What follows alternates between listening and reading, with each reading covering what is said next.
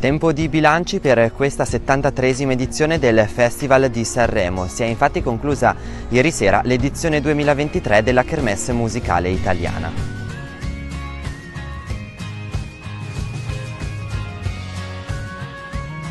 Vincitore indiscusso di questo festival è sicuramente Marco Mengoni, il cantante in gara con il brano Due Vite è stato in vetta alle classifiche. Guarda tutto il video, scarica l'app News24, apri tv e cercalo in programmi.